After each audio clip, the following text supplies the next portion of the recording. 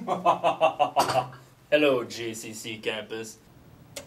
I will bring the entire wireless network to its knees. I will lock the students out of their accounts, and students won't be able to submit their online homework after finishing it. Why? Because I'm Mustachio. Looks like a job for IT guy.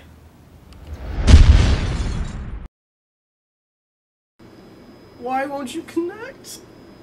My homework, it's due five minutes. Hey, I'm here to help. The Wi-Fi access point on campus is called JCC Students. To log in to JCC Students, you need to use your portal username and your portal password.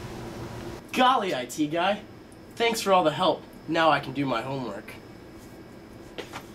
Don't forget that your portal username and password, in addition to gaining access to the wireless access points on campus, will also be used to log in Blackboard, the library databases, and the computers on campus.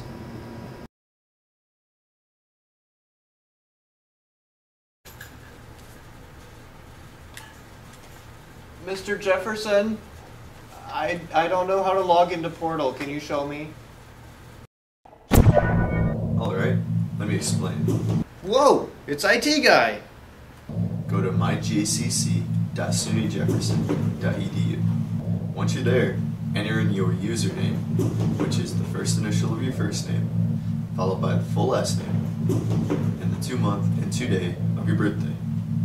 Your password is the two month, two day, and two year of your birthday. Once you're logged in, I'll let you know what you gotta do from there. Well, it's going to be kind of hard to log in when you're taking up the entire screen, you know?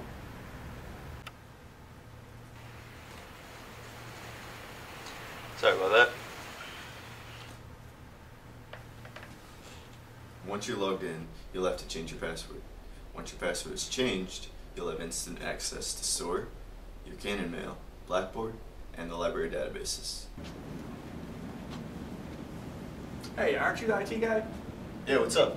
I don't know where the IT department is. I'm having issues with Blackboard. Can you help me out? Yeah, I can show you where that is.